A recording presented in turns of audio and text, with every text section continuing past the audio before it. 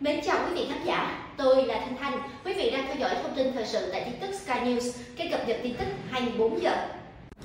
Đang đi xe bỗng gặp một vật để tơ hơ trước cửa nhà, người đàn ông chẳng ngại là một hành động xấu xí. Mới đây, một đoạn clip về vụ trộm cắp tinh vi diễn ra vào dạng sáng tại một nhà dân đang làm nhiều cư dân mạng xôn xao gây chú ý. Cụ thể, đoạn clip được trích xuất từ camera an ninh ghi lại vụ việc. Vào lúc 3 giờ 30 phút ngày 5 tháng 3, lúc này một người đàn ông trung niên đi xe máy phóng từ ngõ ra đường lớn.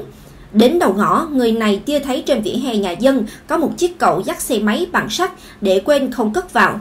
Thấy vậy, người đàn ông này liền dừng xe rồi tiến tới với ý định thó chiếc cầu dắt xe máy. Loay hoay một lúc, người đàn ông cũng bê được chiếc cầu dắt xe bằng sắt, chuẩn bị mang ra xe chở đi.